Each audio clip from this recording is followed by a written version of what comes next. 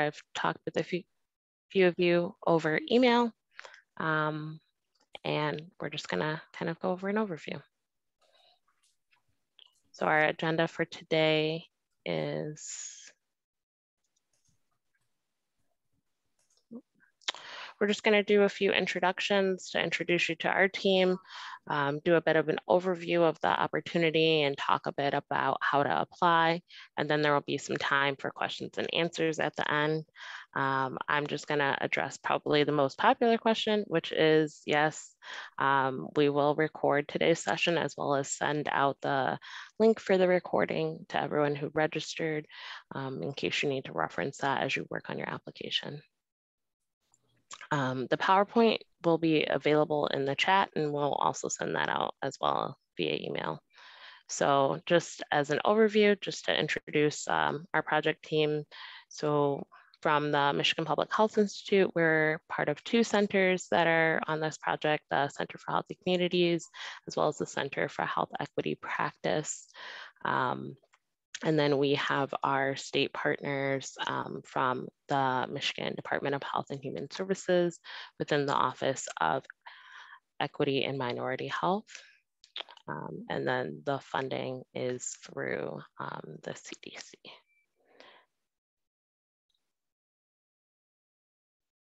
So I'm gonna pass it off to uh, Brenda to talk a bit of the overview here. Thank you, Danielle. Yeah. And good morning, everyone. Very happy to be um, in this webinar with you this morning.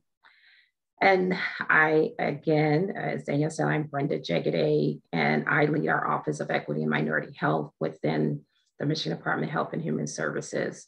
And we're a part of the department's Race, Equity, Diversity, and Inclusion Office. And I also am the project director for the CDC grant. So just good morning again. Uh, these next couple of slides emphasize why our Office of Equity and Minority Health, why we decided to re respond to CDC's request for a proposal. At the beginning of the COVID 19 pandemic, we witnessed and we experienced how lethal, and I use the word lethal, I've heard our Lieutenant Governor Grill Gilchrist used that word, but how lethal COVID 19 was in racial and ethnic communities, especially among African Americans when we look at COVID cases, COVID hospitalizations, and COVID deaths. Additionally, other racial and ethnic groups experienced poor access to culturally and linguistically appropriate care and messaging. And there were record numbers of racial harassment and violent acts against the Asian and Pacific Islander community. We also heard from many in the Hispanic and Latino community and refugee community that they experienced lack of access to services due to language barriers and due to some of them having an undocumented status in Michigan.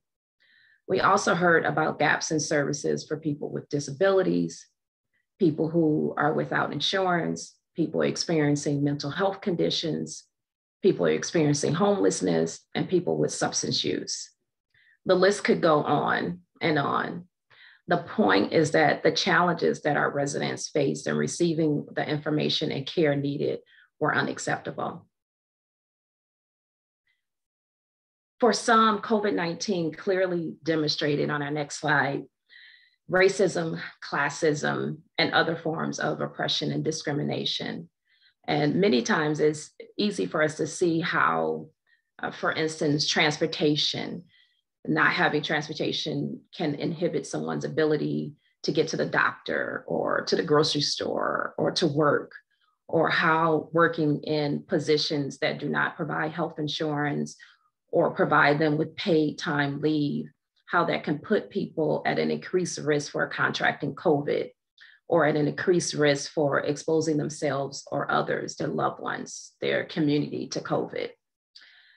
We are more easily able to see these social determinants of health, as we call them sometimes, but not able to see the policies and laws that have been formed and influenced by racism, by classism, by forms of oppression, those things that result in poor or limited choices that residents live with daily and how those poor or limited choices result in worse health outcomes. Worse health outcomes for those that have been marginalized in our society. So we're thankful that many entities and organizations are working together to address the needs of our residents to improve their quality of life and their life expectancy. This is the intention of this funding opportunity to build, to leverage, to expand infrastructure support for COVID-19 prevention and control among populations that are a higher risk and underserved. Uh, these graphs on the next slide, they represent COVID cases and deaths per million by race. Blacks or African Americans have the highest cases, followed by whites, American Indians and Alaska Natives, and Asian and Pacific Islanders. Black or African Americans and American Indians and Alaskan Natives have suffered more deaths from COVID 19. And not shown in these graphs, the case rates for Hispanic and Latinos, they are higher than those that are non Hispanic or Latino. And currently, our Native Americans have the highest death rate in our state. So our mission in the Office of Equity and Minority Health is to provide a persistent and continuing focus on ensuring health equity and eliminating disparities among our five racial and ethnic populations in Michigan, or I should say these five racial and ethnic populations in Michigan. African Americans, our American Indians and Alaska Natives, Arab and Chaldean Americans, Asian and Pacific Islanders, and Hispanic and Latinos. And on the next slide, you'll see these 14 regional areas were selected because these are the areas where the majority of racial and ethnic residents reside. Over 80% of Michigan's African Americans, Asian and Pacific Islanders, and Arab and Chaldean Americans reside in these regions. More than 65% of Hispanic and Latinos reside in these regions. And whereas about 80% of African Americans and Asian Americans and Arab and Chaldean Americans reside in only about six counties or less in our state, Native Americans are more dispersed across the state. It would take up to 32 counties for us to show where 80% of Native American resides. But here in these areas that were selected, nearly 50% of Native American resides, reside in these regions. So finally, we are really excited about the opportunity to partner with organizations like yours, organizations that have demonstrated their ability to provide services to our racial and ethnic residents. I thank you and I turn it back over to Danielle.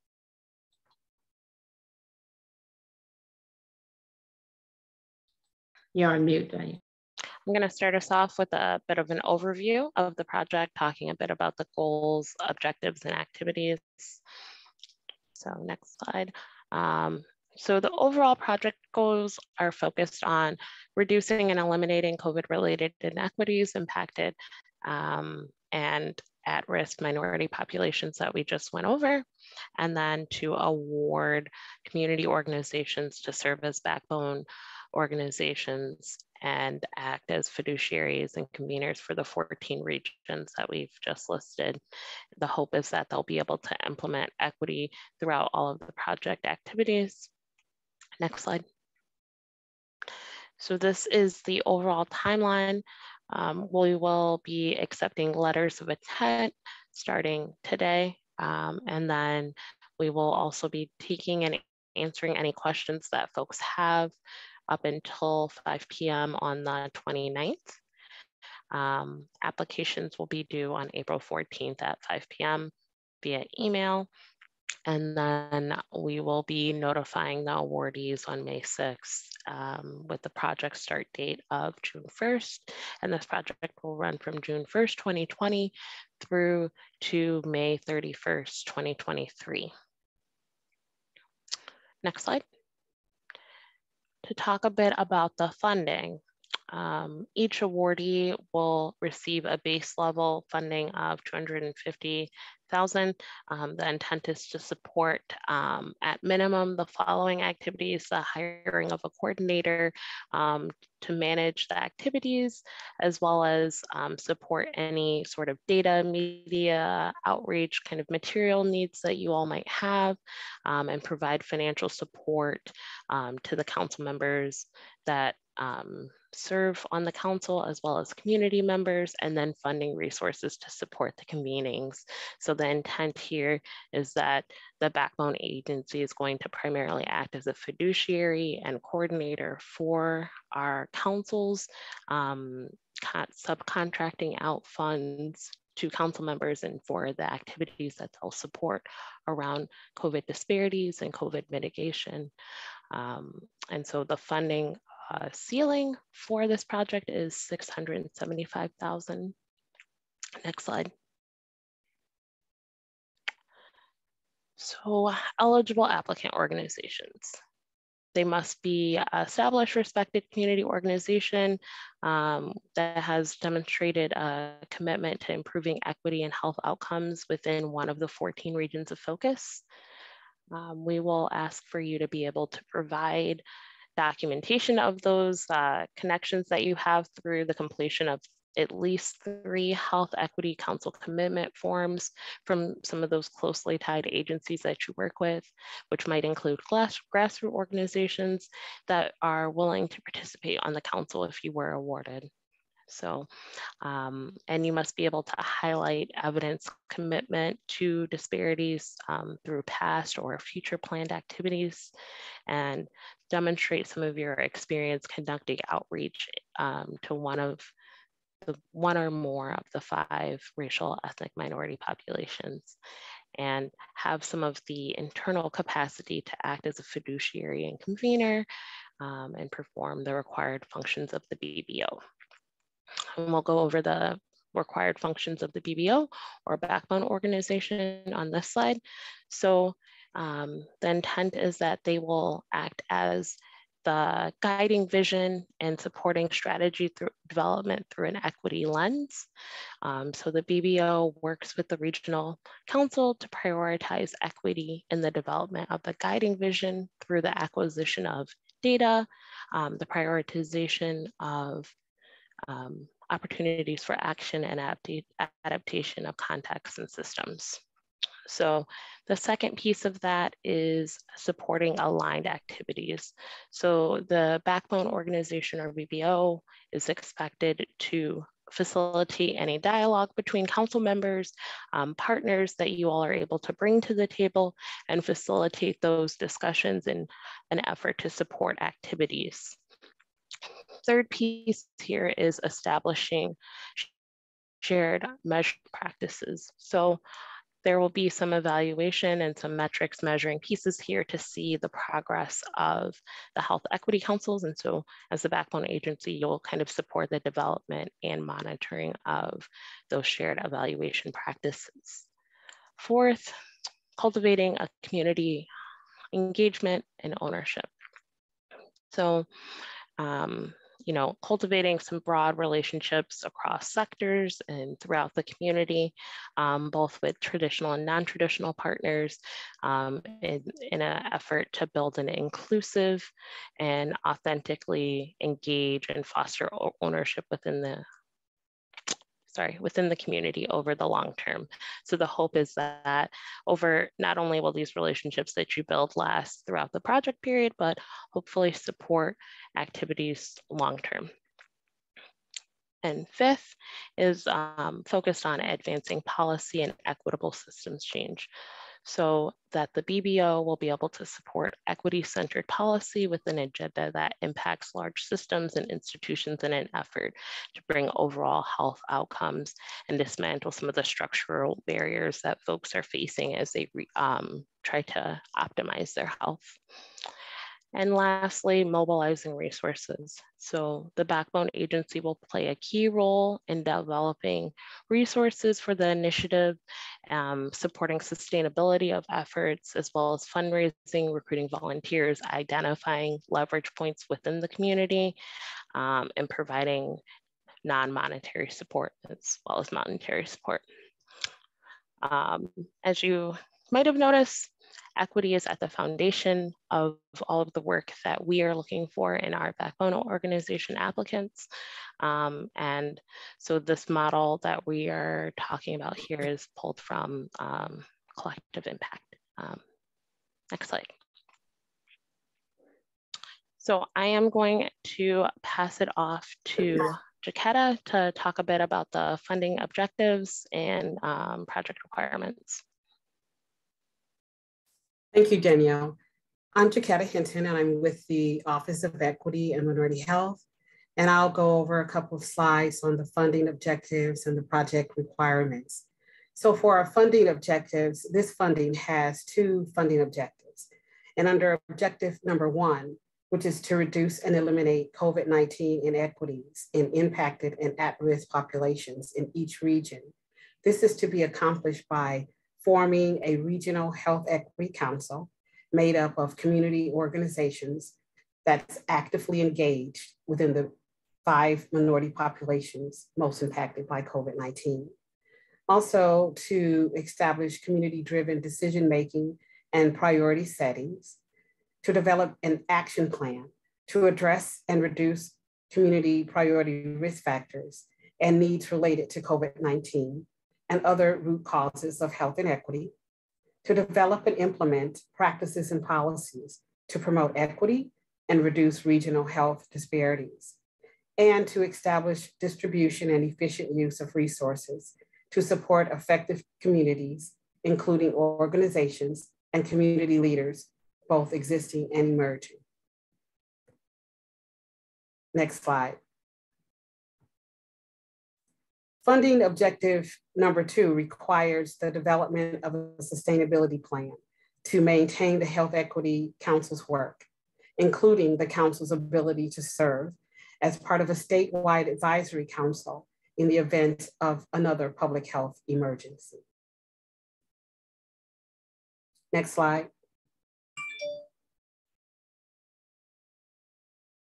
The project requirements and project management requires hiring a project coordinator to support and monitor project activities, to monitor and track council activities, to support the allocation of resources to member organizations and council activities, to track and coordinate council memberships and involvement, and to maintain consistent engagement and convening of community partners to determine activities and implement action plans, to coordinate council activities with leadership and staff support, to develop appropriate business processes and pursue necessary trainings to carry out project activities, to actively track project budget expenditures and progress towards required deliverables, and to ensure that all required CDC reporting data is provided on a quarterly basis. Required data will include the number and types of new and existing and expanded partnerships engaged each quarter. And to ensure completion and submission of data collection along program evaluation indicators. Next slide. The project requirements also want to establish memberships for health equity councils and identify community needs of the region. Each council must include a minimum of three community members, meaning that individuals must live within the region and are not employed by the backbone organization or a partner organization, and community members must be financially compensated for their time. Also to convene health equity councils with community organizations that serve minority populations most impacted by COVID-19, create inclusive and engaging council sessions that minimize power differentials and encourage participation from all members, and to facilitate council meetings to assess community strengths, barriers, and needs, and help lead review of policies and practices that create barriers and inequities in access to services. Next slide. In continuing our project requirements, is to assist health equity councils in establishing community goals, objectives, and action plans that prioritize equity, to track project activities and process towards goals, report monthly to MPHI and MDHHS and OEMH. Act as a fiduciary for the Health Equity Council through grant budget tracking and funding project activities, and to ensure equitable and efficient distribution of resources. To participate in all required calls, assessments, trainings, and technical assistance, and quarterly learning meetings. To serve as a mentor organization for grassroots organizations that are members of the Health Equity Regional Council, and to assist with capacity building to foster their leadership and growth, and to guide health equity councils through final reporting processes, evaluations, and planning for sustainability. Thank you. I'll turn it back over to Danielle. Or Afton. Turn it back over to Afton. Thank you. Thank you, Jaquetta. Good morning, everybody. Uh, my name is Afton Shavers. I'm in the Office of Equity and Minority Health, um, and I am the grant manager for this project. And I'm going to tell you what you really want to know, which is how do you apply? Next slide. So we have shared with you that a letter of intent for this project is recommended, but it's not required. Um, however, if you do submit a letter of intent, we would like it to include the name of the organization, uh, and the main project context per, uh, information, such as their name, email, and phone number.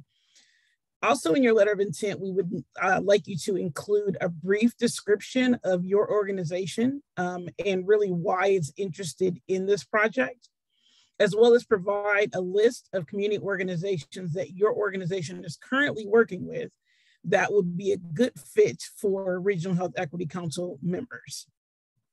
The letters of intent should be sent to Danielle Calloway and her email address is listed below. And I think we'll give it to you three more times before we conclude today because three is a good number for you to remember things. Next slide.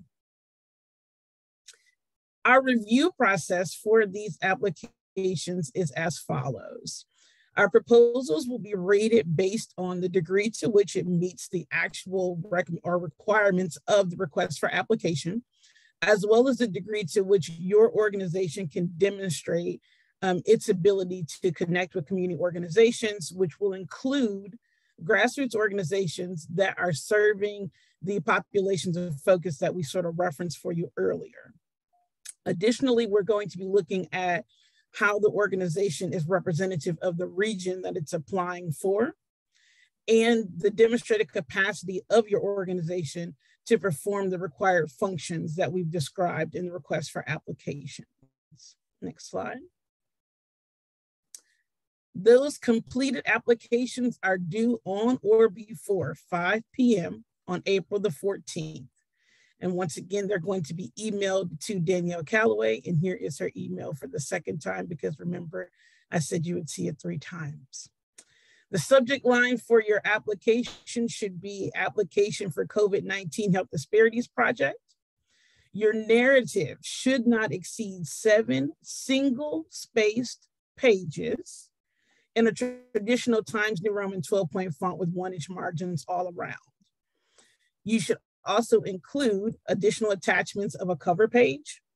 Your attachment A, you should have three of them of the Health Equity Council commitment forms you should have an attachment B, which is your budget template, and an attachment C, which is your IRS W-9.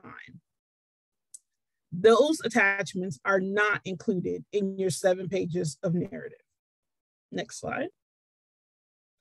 On your cover page, please indicate the agency name, street address, the name of the organization's director, the actual project contact person, so their name, title, email, and phone number. And if you have a separate project lead from the person who's going to be your project contact person, then we would need some information about that person as well. So if you have, say, a director that's going to be the contact for the project, but you have a lead that's going to run the project, that would be when you would need to include two different sets of information If your project lead is your project contact, then you don't need to include any additional information there.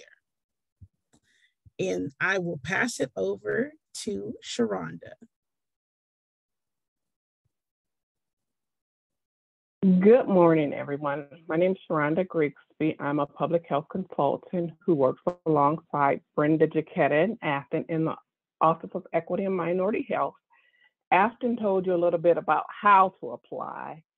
I'm going to talk a little bit in the next couple of slides about what needs to be included in that seven page project narrative there are actually three components that will be uh, evaluated and scored um, for your narrative portion of your application. Those three components include community need, project approach, and your experiences, your agency's background and experience with working with the racial and ethnic populations that you know we serve here in Michigan in terms of community need, you should um, detail on you should include detail on how COVID-19 has impacted the racial and ethnic minority populations in your specific region. The project approach should include details, goals, strategies, and activities on your proposed project plan. The proposed work plan should be structured using SMART objective format, including responsible party, timeline for completion, metrics to be evaluated, and anticipated outcomes. And your strategy should align with one or more of the identified CDC project strategies, which we'll discuss on the next slide. Next slide. So here we identified the four strategies that CDC has identified within this funding opportunity. Strat strategy one um, expands, uh, should detail on how you plan to expand ex existing and or develop new mitigation and prevention resources and services to reduce COVID-19 related disparities among populations at higher risk and that are underserved. Strategy two should increase or improve data collection and reporting for populations experiencing disproportionate burden of COVID-19 infection, severe illness, and death to guide the response to the COVID-19 pandemic. Strategy three, build, leverage, and expand infrastructure support for COVID-19 prevention and control um, and control among populations that are higher risk and underserved. And then finally, strategy four talks about mobilizing the partners and collaborators to advance health equity and address social determinants of health as they relate to COVID-19 health disparities among populations at higher risk and that are underserved. So the overall OMH strategy that the regional health councils fall under, we indicated that that strategy, that strategy falls under strategy three. We're, you know, trying to build, leverage, and expand infrastructure to support COVID-19 prevention. The overall goal, as indicated to CDC by the Office of Minority Health, is to uh, for the regional councils is to establish a sustainable network of trusted community partners that can be mobilized to inform and implement strategies that improve structural gaps to current and emerging health emergencies, including policies, practices, and resource flow related to data collection and dissemination and communication strategies at the state and local level. Next slide.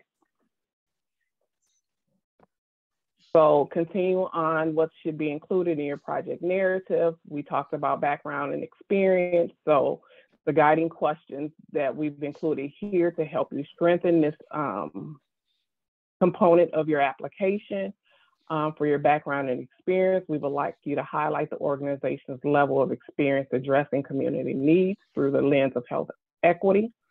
We also want to see your organization's capacity and experience to serve as a BBO, a fiduciary and convener for the council, specifically mentioning skills and capacity for convening organizations that serve excluded and marginalized communities and community members. We want to see detail on the level of experience partnering to address community needs through the lens of health equity among Michigan's racial ethnic minority populations, including the experience subcontracting to direct funding to organizations serving these populations.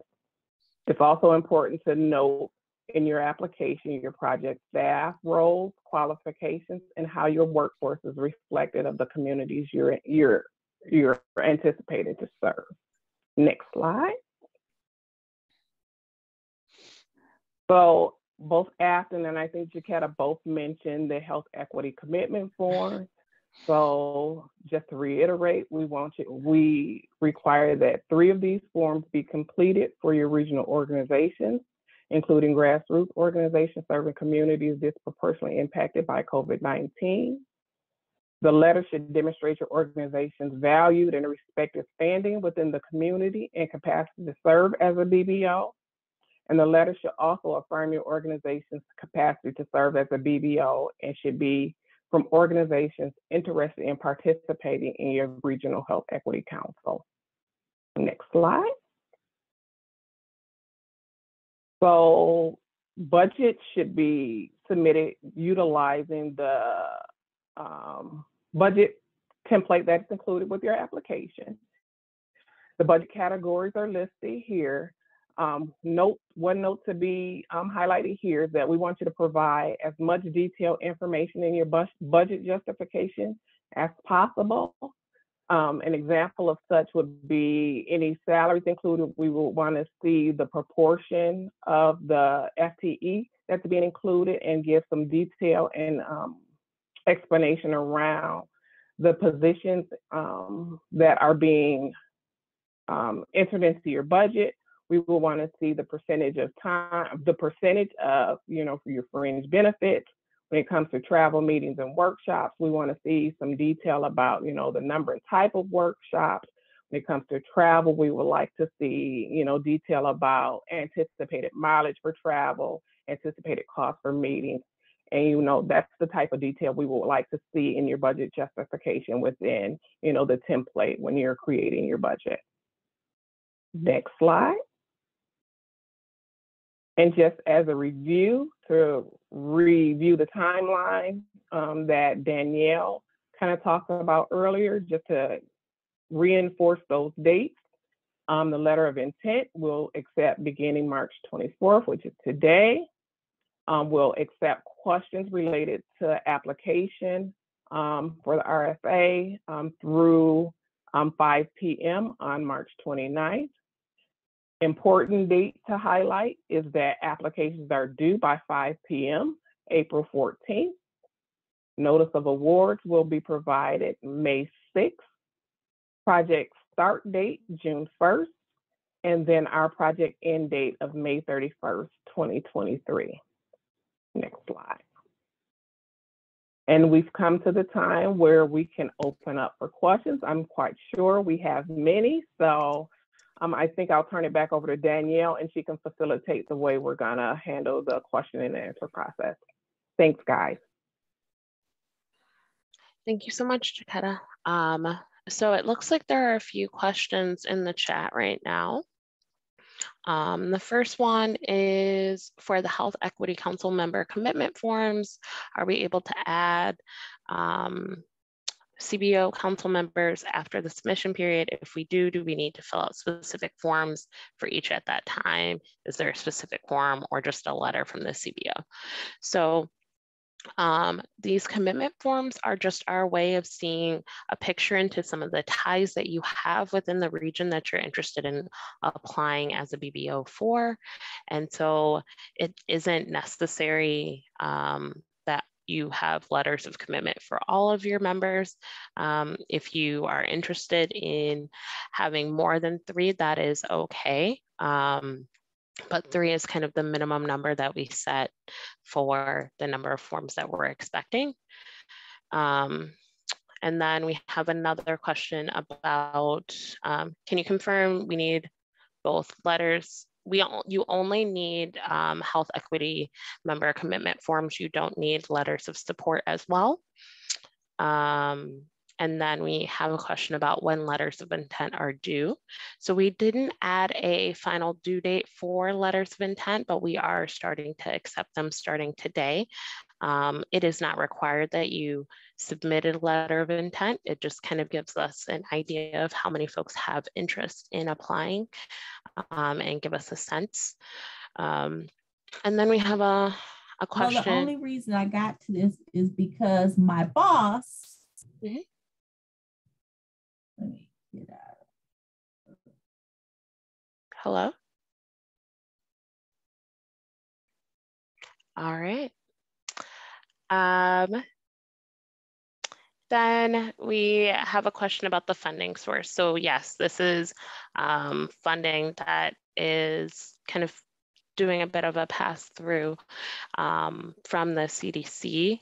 Um, is there a minimum FTE requirement for the project director? Um, so I'm not sure if you're talking about when you say project director, if, if you're talking about um, the contact for the project or specifically the coordinator role, um, but we have not set a, a minimum FTE requirement. Um, we just realized that for the level and scope of this work, you may need to hire an individual specifically to support the coordination of activities um, and the coordination of the council do we have to hire and pay for a coordinator if our agency has the capacity to support the position with in-kind time? That is a great question. Um, I think that we can look at that a bit on case by case basis, um, especially I think as the work itself forms that might really dictate some of kind of the capacity that might exist internally. Um, yes. How many grants will be provided statewide? So we are funding a total of 14 regions. We realize that there might be some backbone agencies that would be interested in applying to represent more than one region. So in, in that case, I would, I would say it really depends on how many backbone agencies we fund, but at a maximum, we will fund 14 um, if we only have one awardee per region. Um, would mini grants or regranting be allowable? That is kind of the intent of this funding here is for the backbone agency to be able to identify some of those key partners, some of those key um, community-based organizations or grassroots organizations that um, that are able to do some of this work, provide some of the resources, and um, you know really address some of the disparities that they're seeing within the community that they serve and represent. Uh, yes, the this this session won't be recorded. Um, there will not be another informational session. Um, if you still have questions after today's session, feel free to email me. Um, my email will be on the next slide and it is throughout the presentation as well. Um, we will also send out the um, announcement information again to folks as well as the um, associated attachments along with the recording. Is there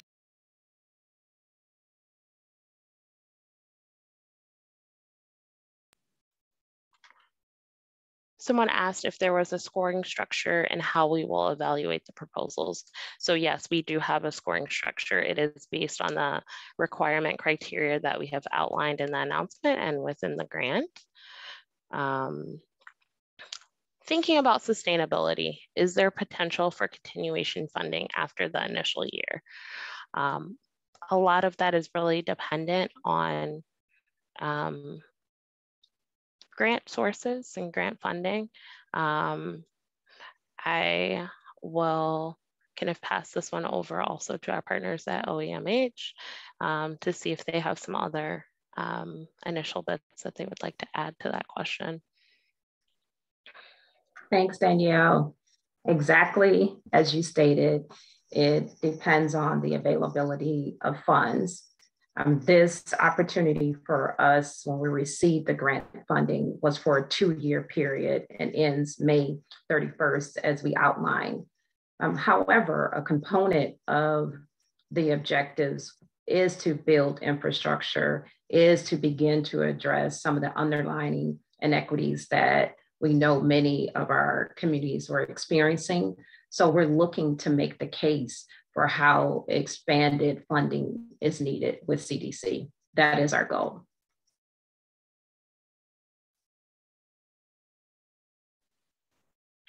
Assuming you want to apply for more than one region, would you need to submit a full application for both? Yes, um, we are hoping that you would um, be able to complete an application for each of the regions that you're looking to support. Um, when will the recording be sent? Um, that will be sent out within the next few days. Um, once we're able to download the recording and clean it up, we will be able to share all of that information with you all.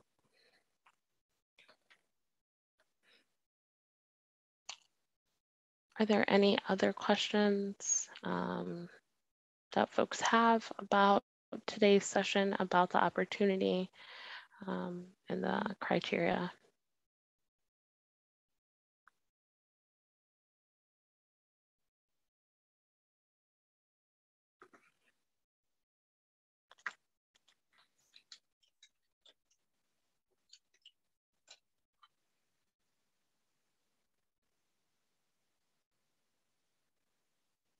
Is there a website link?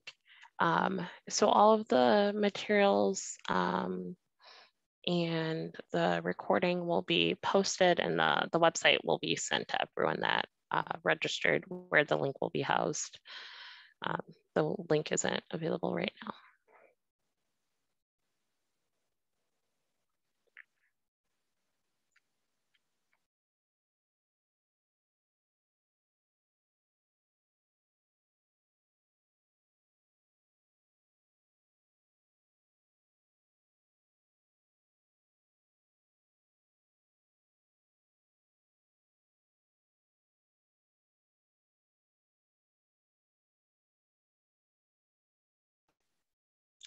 In terms of the budget template, um, I think it's perfectly okay to set placeholders in terms of um, potential staff that you think you might hire, potential um, partners or contractors that you might need to bring in. Um, so that is that's perfectly okay if in your in your budget template you have kind of placeholders of what you think these items might be um, and some perspective costs to just give a sense of of what your budget will be for for that year. Um, can agencies submit a joint application? So uh, um, two agencies acting together as a backbone um, organization applicant. Um, that I think is something that we have to to give a bit more thought to um, and and add that into the FAQ unless uh, you know I'll let any of my partners step in if they want to add to that. No, I'll, I'll just briefly add, Danuelle, that our intention definitely is for there to be collaboration and that are built. Uh, currently, our thought process is that there will be one funded organization. So we would need to see what that partnership looks like. And as Danuelle said, you know, consider that in your application. But our intent is to fund one backbone organization, even if there are partnerships.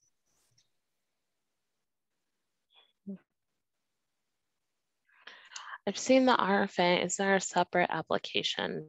Um, so there's not a separate application like template that we've made um, just because we wanted to be able to give folks the adequate space to, to write the narrative that best describes their work and their projected work as a backbone agency. Um, so Word documents are completely fine um, for, you know, pulling together the pieces of your project narrative. Um, there is uh, the, the health equity commitment form is a fillable PDF that you can share with your partner so that they can type right into that um, form. Can you clarify the project period is one year, but I thought I heard Ms. Jagade say it was a two-year initiative. Um, so yes, the grant itself um, is a, a two-year grant um, that did start last year. Um, and so through the process of getting the grant set up and, and getting um, kind of this objective around developing the health equity councils identified and formed um, and identifying all the application metrics. We've kind of um, reached that kind of point where it would be over a one year period for the, the Health Equity Council work. Um, like I said earlier, it really just kind of depends on the, the ins and outs of the budget piece in terms of if this would be an initiative that would last longer than the one year period or um, what have you. But in your application and, and your formation of your um, narrative, be mindful of the fact that the project period right now is projected to be just one year. Where do we access the application? Will you be sending it as follow-up to this webinar? Yes. What are the financial reporting requirements? Are there quarterly um, FSRIs? So yeah, we will be requiring um, quarterly reports at um, at the level of each funded organization. Um, we'll also be following up with awarded organizations um, with requirements around uh, finalized budget as well as work plan for um, the activities within the first 90 days. Um, and that looks like that's all of the questions so far. Uh, if there are any other questions, feel free to drop them on in the chat or um, raise your hand. Yes, Rachel, my contact information is in the announcement. Um, and you can also, you know, feel free to email me or call me um, if you have more specific or targeted questions. We will be, like I said, pulling all of these questions into a frequently asked questions document that we will share um, with all interested parties. So that means everyone who um, has submitted a letter of intent or who has kind of reached out and asked me um, questions specifically. So I have a, a, list of names and emails who will receive that.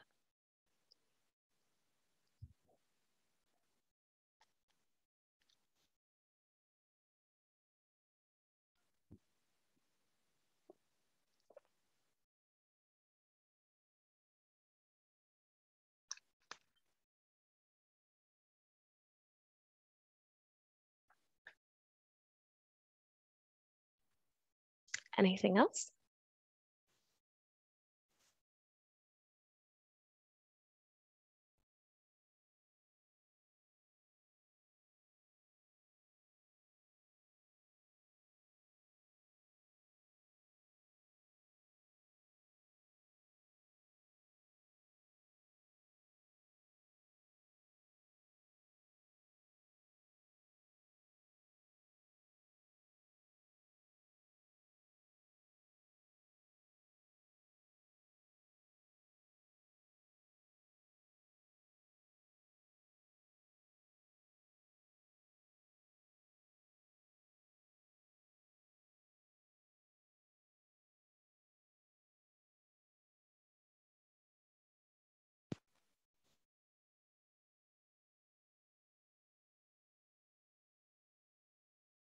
I think it looks like questions are slowing down a bit.